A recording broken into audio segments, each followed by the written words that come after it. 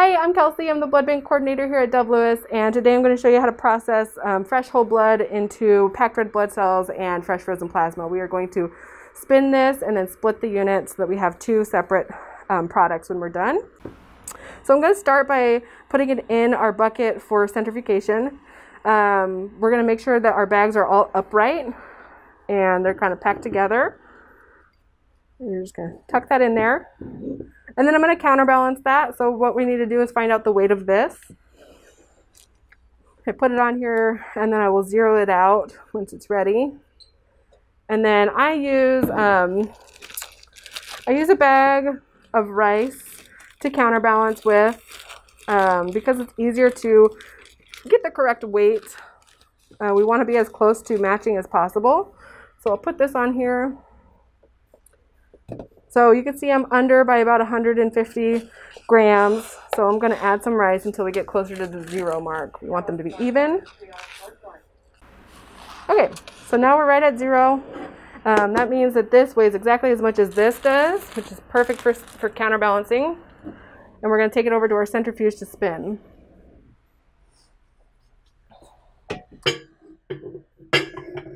Uh, so just like all centrifuges, you want them to be opposite each other.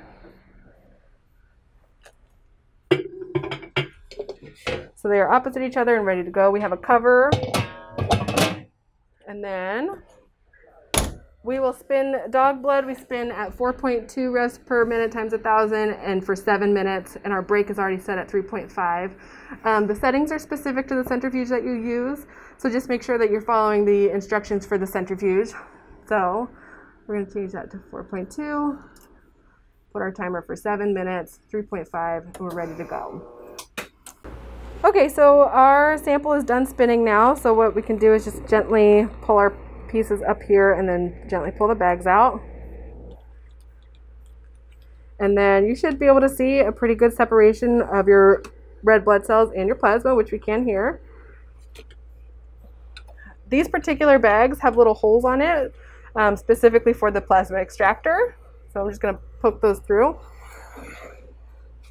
And then I have two accessory bags here. One of them is empty, and that's what our plasma is going to go into. And the other one has our additive um, already in here, which is great. It makes it so that our system stays closed. We don't have to add a additive through a port or anything like that. So we have Optisol ready to go. And what I like to do is get my bag of Optisol out of the way while I process my plasma. So just hang that up.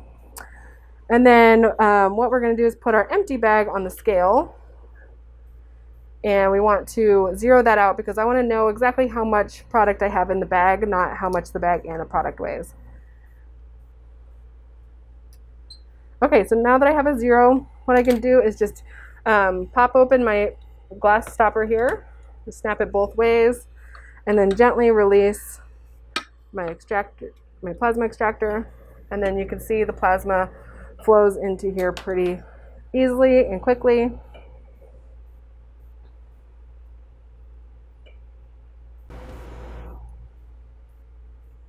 And then I have a hand clamp here ready to stop the plasma from flowing as soon as I have enough in there.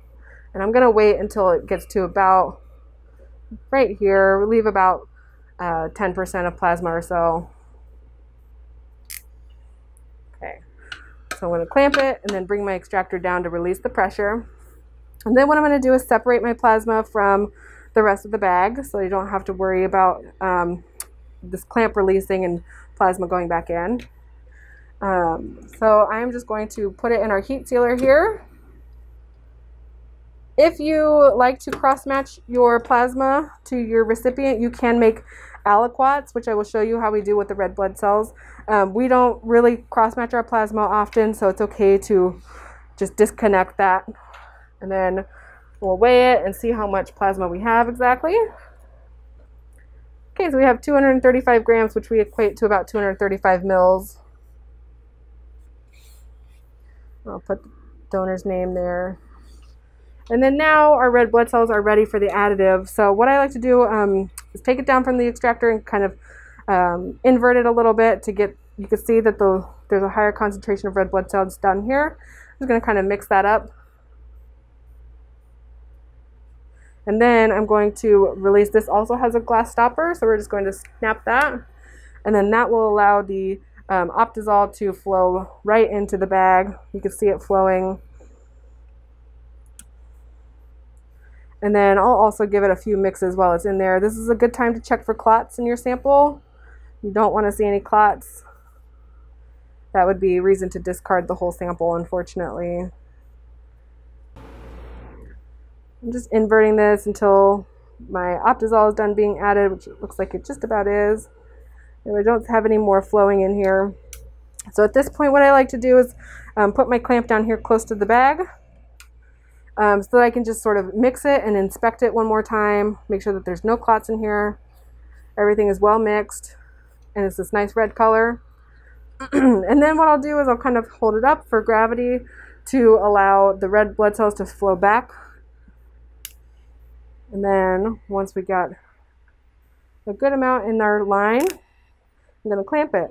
And so what I'm going to do is make some aliquots with the remaining line here. Um, and those can be used for cross-matching against your recipient later.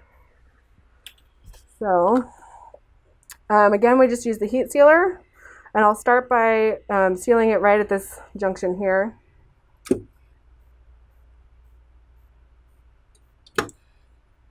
And then that can be pulled apart. And then I will just make a few aliquots about an inch and a half long or so along this line.